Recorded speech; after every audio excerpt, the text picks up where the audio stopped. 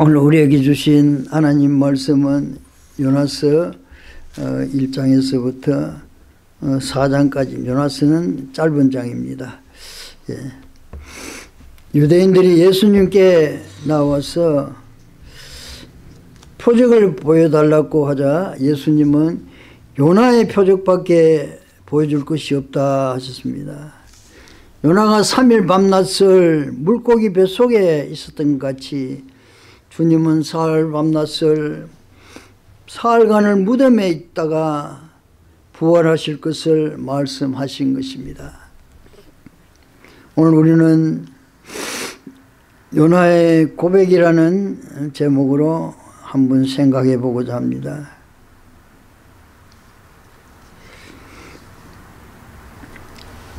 요나를 통하여 우리 자신을 하나님의 뜻에 순종하는 마음을 가졌으면 합니다. 하나님께서 아미떼의 아들 요나에게 아수르의 수도 니네웨를 가서 40일 후에는 니네웨가 무너지리라고 외치라고 하셨습니다. 요나는 BC 760년경의 사람입니다. 예수님 나시기 760년 전의 사람이고 북쪽 이스라엘이 아수르에게 점령되어 망한 해가 BC 722년경입니다. 그러니 요나는 한 700 한 5, 6, 50년, 40년 그경에 어, 많이 외치고 다닌 거 아닌가 싶습니다. 요나 선지자가 아수르에 가서 40일 후에는 망하리라 니네가 무너지리라 외치라고 했습니다. 이때는 아수르가 가장 왕성할 때입니다. 그래서 북쪽 이스라엘도 항상 침략을 근심하고 항상 두려워할 그때입니다. 그래서 요나는 아수르가 하나님의 진노를 받기를 원했는데 가서 아수르를 위해서 외치라고 하니까 요나는 마음에 들지 않았습니다. 그래서 요나는 아스르로 가지 않고 니누의 성으로 가지 않고 몰래 하나님 얼굴을 피해 가지고 다시스로 도망을 가려고 배를 탔습니다. 다시스는 지금 북아프리카 카르타고로 추정되고 있습니다. 북아프리카에 있는 카르타고로 추정되는 그 지역입니다. 여기도 말했듯이 요나는 아미떼의 아들 요나라고 말했습니다. 유대인들도 보면은 자기 아버지 이름 다음에 자기 이름을 말합니다. 그 아랍 사람들 그 특색이 자기 이름을 만들 때는 자기 이름을 먼저 말하고 그 다음에 아버지 이름 말하고 할아버지 이름 말하고 그리고 자기 그 소속된 부족의 이름을 말합니다. 그래서 아랍 사람들 이름이 항상 네 개가 있는 거예요. 그래 들으면 무슨 말인지 모르지만 제일 처음 것이 자기 이름입니다. 그리고 마지막이 부족 이름이고 그래서 보통 이야기함 자기 이름 말할 때 보면은 자기 이름 말하고 아버지 이름 말하고 할아버지 이름 말하고 부족 이름 말하는 때가 많습니다. 아미떼의 아들 요나입니다.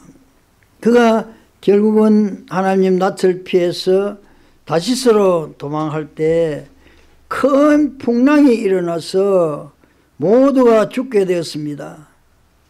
그런데도 요나는 배의 밑창에 들어가서 깊이 잠들었다 했습니다. 참 하나님 피하고 다니려니까 고민이 많을 거 아닙니까? 그동안에 이럴까 저럴까 깨부리다가 결국에는 잠도 못 자고 고통 중에 있다가 배 타니까 아이고 모르겠다고 막 그때 잠을 들어본 것 같아요. 참 그럴 때가 많아요. 어떤 때는 너무 피곤해가지고 어, 살살 피하다가 보면은 아이고 기도해야 되는데 막 도저히 막 감당을 못하면 들어누웠다 보면 막 잠이 들어볼 적 있잖아요. 근데 잠이 오는 거 아니거든요. 밤새도록 기도해야 되는데 기도하고 자야지 이거 뭐고 기도하고 자야지 이거 하다 보면 새벽이 돼버려. 그럼 밤새도록 한점못 자요. 기도를 안 하고 잤으니까 잠이 안 오지. 밤새도록 막 기도하고 자야 되는데 이렇게 하면서 모델을 나가지고 밤새워가지고 새벽이 돼가지고 에이 기도도 안 하고 잤구나 이래가지고 그때 일어나가 기도하면은 정말로 참 잠이 꿀잠인데 그게 잠이 안 오는 거요. 하나님을 피하면은 이와 같이 잠이 안 와. 그러다가 에라 모르겠다 하고 잠이 들어보면 그건 잠자는 것도 아닌데 이제 요나는 뱀이 창에 들어가지고 깊이 잠이 들어버렸다 했어요. 하나님을 피하는 것이 이렇게 피곤한 거요. 그때 배선장이 요나를 깨워서 이 재앙이 누구에게로 왔는지 어? 각자 자기 신들에게 우리 기도하자. 아무리 기도해도 계속 풍랑이 이니까 이제 우리가 이 재앙이 누구 때문에 왔는지 제비를 뽑자 했습니다. 그래서 다 모여서 제비를 뽑으니까 이 제비가 요나에게 뽑혔습니다. 요나가 뽑혔어. 그러니 사람들이 요나에게 묻습니다. 이 재앙이 무슨 연고로 이렇게 왔는지 우리에게 말해달라. 네 생업이 무엇이며 네가 어디서 왔으며 고국은 어디며 어느 민족에게 속했는가 여기서 우리는 요나로 인하여 이 재앙이 왔다고 모든 사람들이 알게 됐다는 거예요. 그렇게 알고 있다. 우리가 심히 어려운 재앙을 당하면은 다 무슨 죄 때문에 그렇다. 이것이 사람들의 본분이에요. 아, 본능이라고. 자기도 모르게 이게 내 무슨 죄 때문에 왔는 거 아니냐. 내가 죄를 지었나? 내 아내가 지었나? 내 자식들이 죄를 지었나? 이런 마음이 팍 드는 것이 우리 사람의 본능입니다. 그래서 이 사람들이 요나가 뽑히니까 니 때문에 그렇구나 하는 걸, 그걸 다 사람들이 느낌을 받은 건. 그래서 이 재앙이 뭐 때문에 왔느냐? 네 생업이 무엇이냐? 너는 어디서 왔으며 고국이 어디며 어느 민족에게 속했느냐? 그러니까 요나가 나는 히브리 사람이요.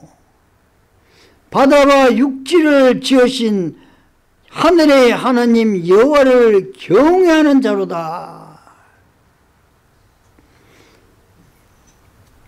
자기가 바로 하나님의 낯을 피하여서 가라 하는데 내가 다시스로 도망하려다가 이와 같이 풍랑이 만난 것다. 그렇게 말하니까 모든 사람들이 그 말을 듣고 하나님을 두려워했습니다.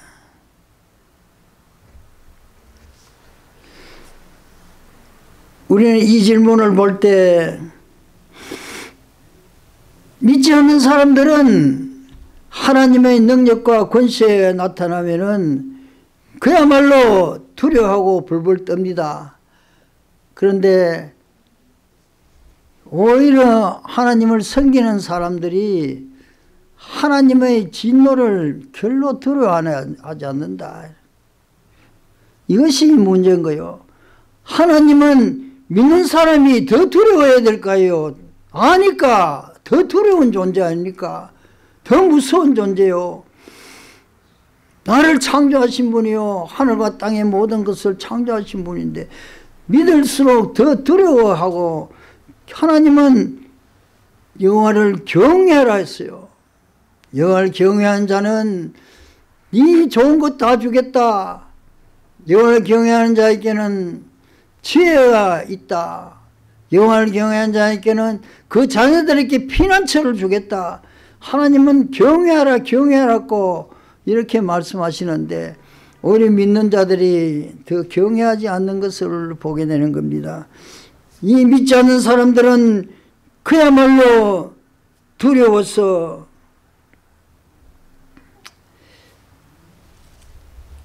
힘이 두려워 이르되 네가 어찌하여 그렇게 행하였느냐 네가 하나님이 얼마나 두려운 분인데 네가 그렇게 행했느냐 왜 하나님을 두려워하지 않고 그 명령을 따라하지 않았느냐 이렇게 말하는 것입니다.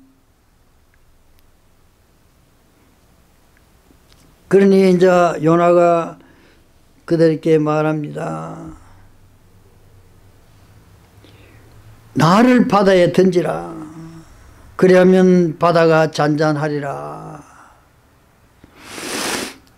요나는 이와 같이 내 때문에 그렇다고 뭐 사람들 앞에 고백하면서 하나님의 살아계신 온 우주 만물을 창조하신 하나님의 살아계심을 그들에게 증거하신 것입니다. 그래서 사람들이 요나를 바다에 던지니까 하나님께서 미리 큰 고기를 물고기를 준비하셨다가 요나를 삼키게 하셨습니다. 물고기 뱃속에서 살 수 있겠습니까? 물고기 뱃속에 들어가면 다 소화돼 버리지 사람이 어떻게 살아요?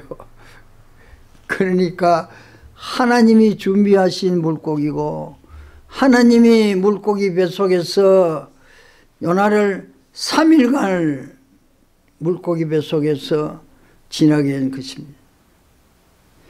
요나는 물고기 뱃속에 있으니까 얼마나 두렵겠습니까? 그래 그 속에서 회개합니다. 그때 요나가 회개한 말이 요나서 2장에 나옵니다. 내가 받는 고난으로 말미암아 여호와께 불러하랬더니 주께서 내게 대답하셨고 내가 소울의 뱃속으로 뱃속에서 부르짖었더니 주께서 내 음성을 들으셨나이다.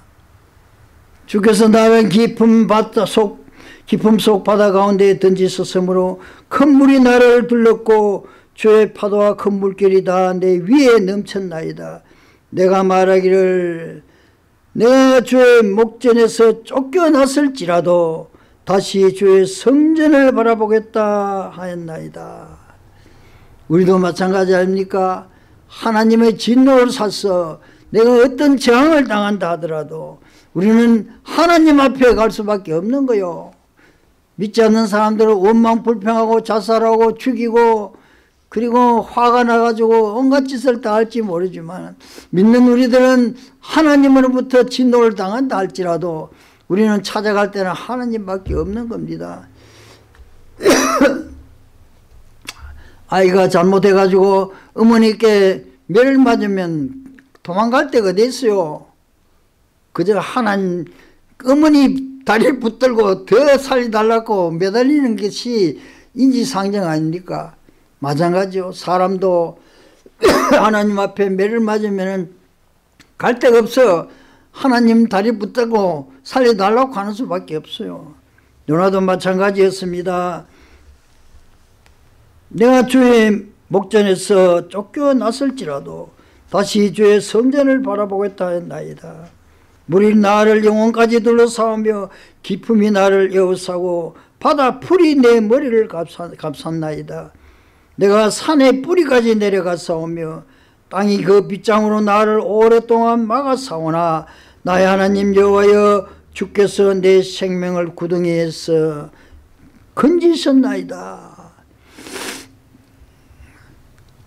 물고기 뱃속에서 살 사람 누가 있습니까? 그는 아차 하나님이 나를 살리셨구나 하는 것을 깨달았다 말합니다. 그 속에서 단 한 시간만 있어도 우리는 소화돼 버릴 거요. 그런데 자기가 하나님께 기도하는 동안에 죽지 않고 살아있다는 것이 얼마나 기적이요. 그는 내 생명을 구덩이에서 하나님이 건졌다는 것을 확신했습니다. 내 영혼이 내 속에서 피곤할 때 내가 여호와를 생각했더니 내 기도가 주께 이르러 싸우며 주의 성전에 미쳤나이다. 하나님 내 기도를 들으셨다. 거짓되고 어떤 것을 숭상하는 모든 자는 자기에게 베푸신 은혜를 버려 싸우나 나는 감사하는 목소리로 주께 제사를 드리며 나의 서원을 주께 갚겠나이다. 구원은 여호와께 속하였나이다. 이 요나는 구원은 하나님께 있다는 것을 물고기 뱃속에서 고백하는 거죠. 그는 그와 같이 하나님 앞에 자기 모든 것을 고백하고 이제는 하나님 따라가겠습니다. 그러니까 하나님께서 요나를 육지에 물고기가 육지에 요나를 토해버렸다 했어요.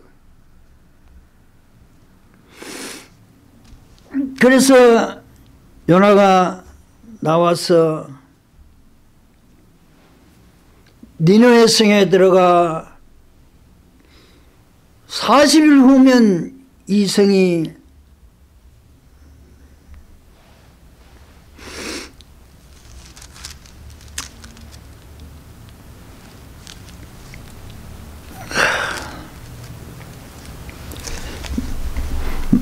무너진다고 말했습니다. 요나가 40일 후면 이 성이 무너진다 이래 말할 때 이 니네 성의 사람들이 다 그 말을 믿었다 했어요. 참 사람들의 말이 얼마나 빠른지 우리는 알아야 되겠습니다. 이 요나가 풍랑을 만나가지고 다시스로 도망할 때 거기에 뱃사람들이 자기 물건들을 다 빼서 던져 바다에 던져버리고 그 사람들이 요나의 말을 들었다 이게 니네를 가야 되는 걸 갖다가 하나님 명령을 어기고 다스스로 가다가 결국은 바다에 던져버린 사람이 있다. 그런데 그 사람이 살아나와가지고 니네 성에 도착해가지고 너희가 40일 후면 니네 성이 무너진다고 외치니까 니네 사람들이 얼마나 놀랐겠어요. 다시스하고 니네는 그, 거기서 거기를 가는 반대 방향인데 니네 사람들이 어떻게 알았겠느냐고. 그렇지만 사람들의 말 이것은 참 얼마나 빠르고 얼마나 우리 상상 이상으로 멀리 가는지 우리는 알아야 됩니다. 다섯의 그 배를 탔던 그 사람들이 언제 니네에 가서 이야기를 했겠습니까? 그러나 그들은 요나의 외침을 듣고 회개했다고 말하는 겁니다. 그래서 니네 사람들이 금식을 선포하고 높고 낮은 자를 막론하고 굵은 베옷을 입었다. 이 소문이 또 왕에게까지 들림에 왕이 보좌에 서려나 왕복을 벗고 굵은 베옷을 입고 제위에 앉아 왕과 그 대신들이 조서를 내려서 민회 선포에 이르되 사람이나 짐승이나 소떼나 양떼나 아무것 그것도 입에 대지 말지니. 곧 먹지도 말 것이요 물도 마시지 말 것이며 사람이든지 짐승이든지 다 굵은 벼옷을 입을 것이요. 힘써 하나님께 부러질 것이며 각기 악한 길과 손으로 행한 강포에서 떠날 것이라. 하나님이 뜻을 돌이키시고 그 진노를 거치사 우리가 멸망하지 않게 하시리라. 그렇지 않을지는 누가 알겠느냐. 이와 같이 왕이 선포를 했단 말입니다 정말로 얼마나 요나의 그 선포가 모든 니네 사람들의 심정에 찔렸는지 우리는 알게 되는 것입니다.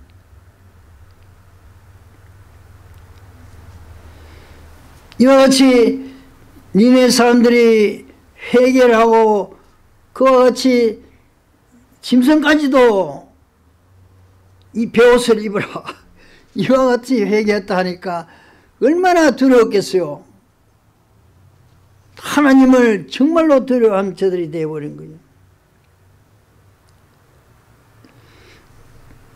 그때 요나가 이 광경을 보고 하나님께 기도하면서 내가 고국에 있을 때에 일을 하겠다고 말씀하지 아니하였나이까 이러므로 내가 빨리 다시스로 도망하여 사오니 주께서는 은혜로우시며 자비로우시며 노하기를 더대하시며 인내가 크시사 뜻을 돌이켜 뜻을 돌이켜 재앙을 내리지 아니하시는 하나님이신 줄 내가 알았기 때문에 다시스로 도망 안 갔습니까? 이러면서 또 하나님 앞에 이상한 불평을 합니다.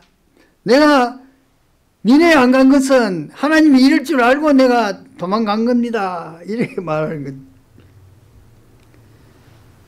그러면서 여호와여 원하건대 이제 내 생명을 거두어 가소서 사는 것보다 죽는 것이 낫겠습니다. 이렇게 불평하는 것입니다.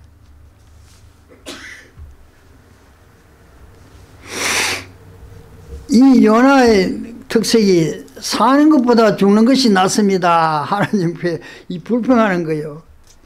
또 그 뒤에 보면은 하나님께서 요나가 높은 데 앉아가지고 니네가 망하는 거 어떤가 보자 하고 있는데 거기에 초망을 쪼매난 거 지어가지고 보고 있으니까 그 아스리 그 아스로 아시리아 니네성 그 거기는 굉장히 뜨거운 자리입니다. 그 뜨거운데 초막을 짓고 있이 뜨거워 못 견디겠단 말이에요. 그래 하나님이 박능구를 하나 딱 나게 해가지고 하룻밤새 박능굴이 탁 제가 그늘을 지어줬어. 그러니까 연아가 거기 앉아가지고 밑으로 때려보니 참 좋거든. 야 시원하게 이제 니네가 망하는 거 보자 하고 있는데 아 이 하나님이 벌레를 또 준비해가 박능굴을 깔아 먹었어. 깔아 먹으니까 박능굴 죽어버려 시들어 버렸어. 그러니까 햇빛에 뜨거워 못 견디겠거든. 그러니까 또 요나가 불평합니다. 요나가 혼미하여 스스로 죽기를 구하여 이르되 사는 것보다 죽는 것이 내게 나으니다 하고 또 요나서 4장 8절에 또 하나님 앞에 불평하고 이어 있습니다. 하나님은 그러나 하나님 사랑의 말로 요나서 4장 9절 이하에 말씀합니다. 요나에게 이르시되 네가 이 박는 걸로 말미암아 성내는 성내는 것이 어찌 옳으냐 하시니 그가 대답하되 내가 성내어 죽기까지 할지라도 옳으니다 하고 고집을 부립니다. 그런데 여호와께서 이르시되 내가 수고도 안 하였고 재배도 안 하였고 하룻밤에 났다가 하룻밤에 말라버린 이 박능구를 아꼈거든 하물며 이 성을 니누에는 좌우를 분별하지 못하는 자가 12만 명이요. 가축도 많이 있나니 내가 어찌하여 아끼지 아니하겠느냐? 하나님은 그 이방 나라 장차 북이스라엘을 망하게 하고 북이스라엘 백성들을 전 세계에 흩어버릴 이 아시리아 이 나라의 백성들까지도 사랑하신다 이 말.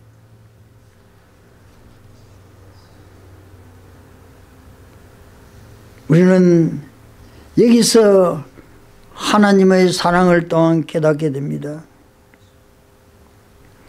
그리고 우리는 요나의 이 불평하면서 고백하는 말들을 우리는 보게 됩니다. 그래서 요나 생각하면서 내 자신도 한번 돌아보자 이겁니다. 요나같이 우리는 일일이 하나님께 뭐 불평이든지 뭐든지 보고를 하고 있습니까? 우리가 이같이 요나같이 기도합니까? 요나는 이와 같이 일일이 하나님 앞에 기도하고 보고를 하는 사람이었습니다. 우리도 우리 당한 일과 우리 할 일과 모든 것에 하나님 앞에 이와 같이 아랠 수 있는 우리들 되어야 되겠습니다. 하나님께 깨닫, 깨닫게 해주시면 우리 거기에 대해서 기도하고 그렇게 돼서 불평이 있으면 하나님 앞에 못하겠다 하고 이와 같이 솔직하게 좀 살자 이거야. 요나는 얼마나 솔직합니까? 불평도 하고 하나님 앞에 때도 쓰고 참 이렇게 했습니다. 하나님 이걸 좋아하시는 것 같아요. 모세에게도 하나님께서 참 나는 못 가겠다. 하나님 못 가겠습니다 하니까 하나님이 길을 만드신 사람이 누구? 입을 만든 사람이 누구냐? 그 입과 길을 만든 분이 누구냐?